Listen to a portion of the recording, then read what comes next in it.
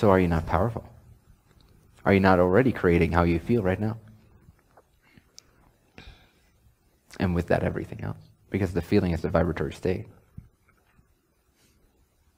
I am creating how I'm feeling right now. How powerful, no? Yes. How would you do that if you were not a part of God and if you did not possess the portion of its power to create? I have a lot of buts coming up. That's okay. Just express them. Uh, I am creating how I'm feeling in this moment, but I still have parts of my life that aren't the way I want them. Well, The but how many things have you thought in the past that were out of alignment? Many. Well, there you go. See how powerful you are? So, all these parts in your life that you don't enjoy are all proof of how powerful you are. Just not in the way that you want to be. But nevertheless, it's pointing to your innate power that you can't escape creating reality. And it's giving you clarity, it's giving you notification, a Facebook notification, little red flag, bloop, that you can click on it and say, oh, hey, this creation is not what you desire. And you click on it, and it takes you to that creation, and you see it, and you go, unfriend, or unlike, or stop showing up in my newsfeed. And then, ah, that feels good. You've learned more of who you are and how to master your vibration. And now you're going to the search bar, and you're searching for a page that you would really enjoy that you haven't liked yet. In other words, it's not yet present. So, what are your hobbies? Or do you have any kind of passion? Don't say no. I love to cook. Cook. So you look up this amazing, I don't know many cooks. It's not one of my passions per se, but uh, I love to be cooked for though. Uh, so you look up one of these cooks on Facebook, and you're like, wow, this is a really beautiful page. I love this. And so you like it, and you add it to your newsfeed. And if you really love it, you even go, every time she posts an update, give me a personal notification. It works perfectly that way. Facebook is such a uh, perfect analogy for managing your vibratory state and choosing what you prefer, choosing to see only what you prefer. For example, so do you see that the things that are present in your life are reflections of past vibratory states? And to an extent, vibrations that are still lingering or that are still available to you? I don't know. You don't I don't know? know if I believe. Do they seem like random physical events that were out of your control? uh, yes. Cool. Yeah. So, and do you believe that that is true? Do you believe that reality consists of an independent physical mole- molecular structure? Or do you believe it's all a dream inside of consciousness? I um, love hearing that it's a dream all inside of consciousness. That's because it's true. Does it feel good when you hear that? Yes. Then it must be true. Higher self agrees to you.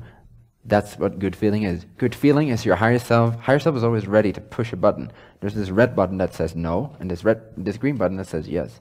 Whenever you have a thought that is correct, it goes yes, and you feel good. And whenever you have a thought that feels bad, it's because the thought is untrue. Higher self goes "Eh," and you go oh.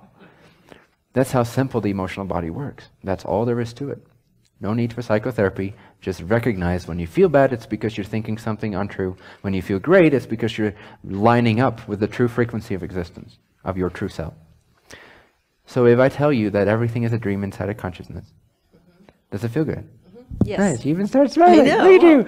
This smiling thing is not your delusion. You can't be happy unless your higher self agrees with what I'm saying. Okay. Yeah. Do you trust your higher self's wisdom? Or do you prefer your own brain, self linearly oriented way of seeing the world? um, You kind of have to make a choice. Do you wish to trust your higher self, which means trust what feels good and say respectful, appreciative no to the things that don't feel good?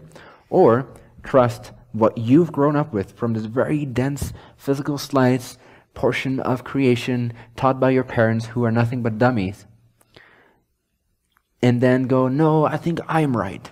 My higher consciousness, which sees all these infinite parallel realities simultaneously, it sees all the parallel lives I'm living right now, or in most people's eyes, that's called past lives. It sees all my future lives. It sees all my alternate versions that are within my range of possibility and relativity. But no, I believe I am right. So let me feel really bad, because I enjoy that, because I just want to be right. well, I'm really taking a step of faith because there is a your Yeah. message is very compelling, but I don't. I do want to trust my higher self, but I'm not compelling. You know I'm- what compelling is? Higher self going. Green button.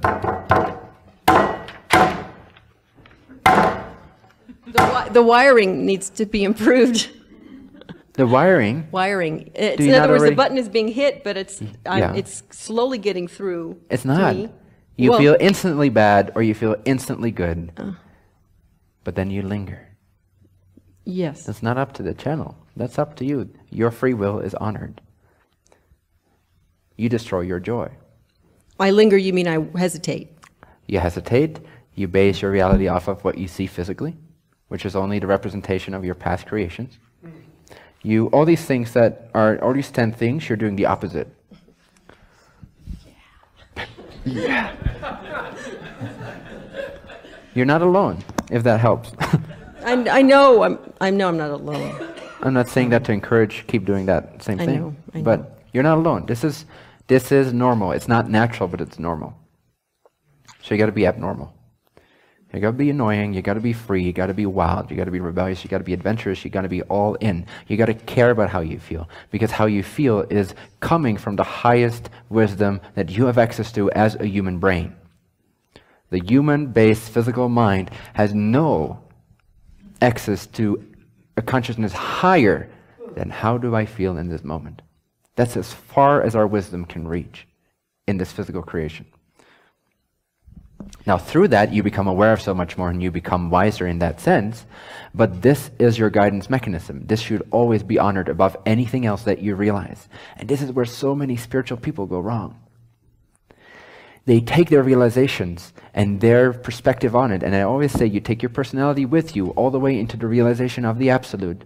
Meaning, whatever you realize, you distort it. Whatever you realize, it's still your point of view of that realization. And people start to use that idolization, that realization, and their interpretation of it, and they start to value that because it seems so wise and so approved of by gurus with long beards that say the same thing and that seem really authoritative. And Nisargadatta said this, Ramana Maharshi said this, Buddha said this, so therefore I'm right. And they forsaken the fact that it doesn't feel good, certain things. And other things do feel good. Desire should be suppressed. It's a distraction. It's your only entrance point into wisdom, any real type of applicable wisdom. Don't ever suppress your desires. Suppress everything else but your desires and your integrity. Your respect for other beings' free will. That and your desire, and you're good to go. Ignore everything else, and you're good to go. So, So you speak with great certainty. yes, I don't have a beard, certainty. But I'm just as authoritative. No. I am not as certain as you are at this moment. Mm-hmm. It doesn't mean I can't be or won't be. Beautiful, thank you. Yeah. Doesn't that feel good when you leave that open at least? Yeah, Good, that means because it's I'm true. Fine, I'm looking, Yeah. and I resonate with your certainty, I suppose, or something. Mm-hmm. What you're doing is imagine one of those, um, how do you call that? The palettes that the painters have with the different colors on it. You're literally like seeking through the different colors, tasting a little bit here, tasting a little bit there, tasting a little bit there, and you're about to make a choice. You're still exploring your options, which is great. It's good. It's natural. But you're in the process of choosing which color you wish to actually use to paint your reality with. So this is good. You're simply exploring. You have a you have a very explorative energy right now. Like, "Wha- wha- wha- what about this, this, this?" So it's good. There's there's an openness there, but just know that you're about to make a choice, and feel free to keep keep tasting a little bit here and there, but just know that nothing is a given. It is up to you. All colors are the one's creation equally. You can choose blue, you can choose red, you can choose positive, you can choose negative, you can choose depression, you can choose bliss. The one will only go, Oh, thank you. That's another way in which I can express myself. It doesn't experience the depression you experience in that sense. It only perceives more of itself. So it is up to you to choose what feels in alignment with your higher self, which is not the one. It still has preference. It still has a guidance mechanism. It's still guiding your theme. It still has relevance. But that should be honored because there's no way to live in the absolute while you're physical. There is no way to become fully the absolute one, which you already are in some level, from the physical because it's not relevant.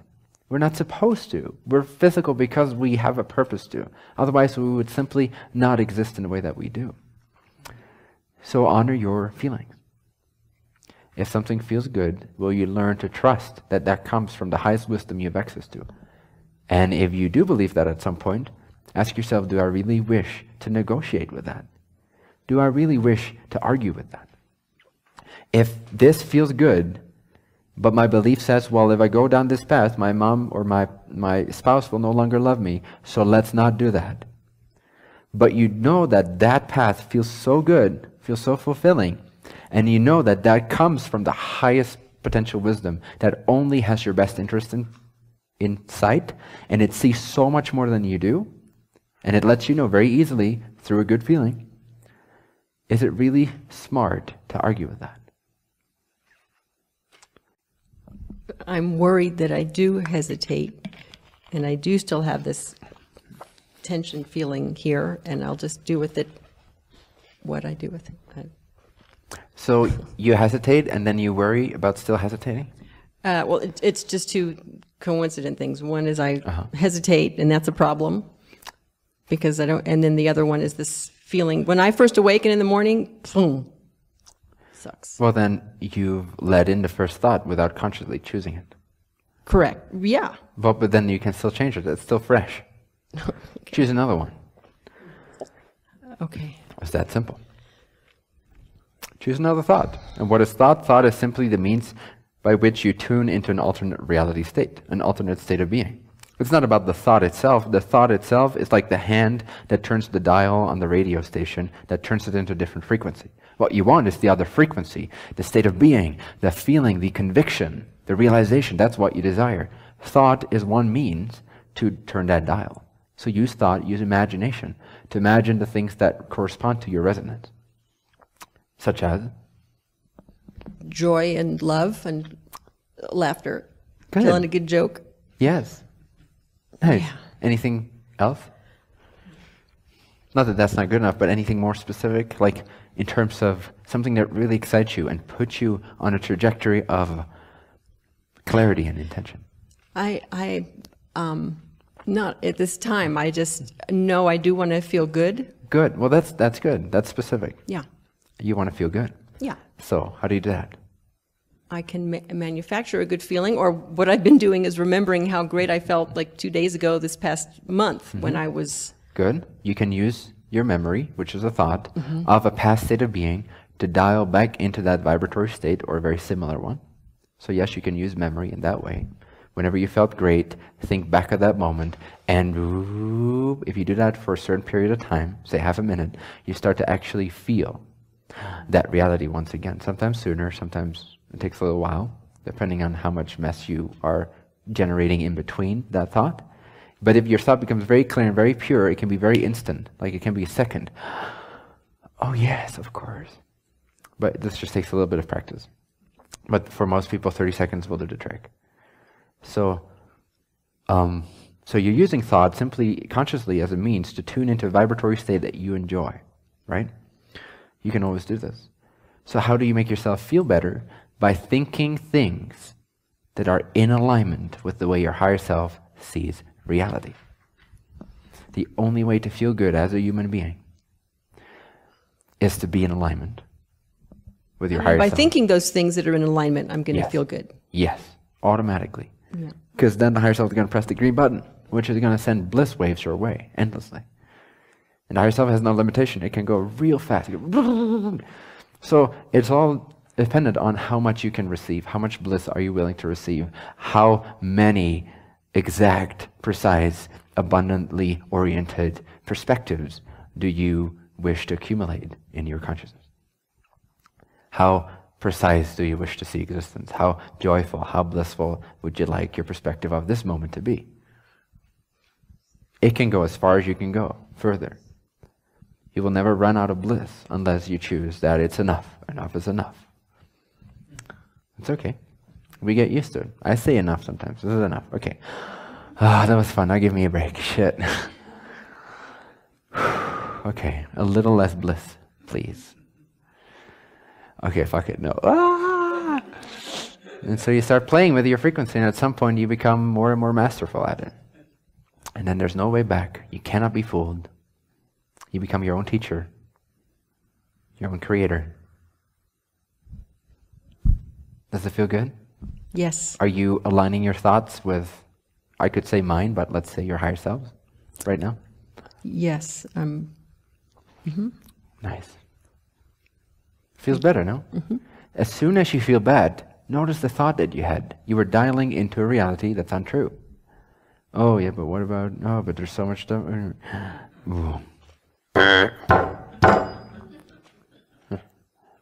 Wrong thought. Ourselves kind of like a dictator. It's very precise.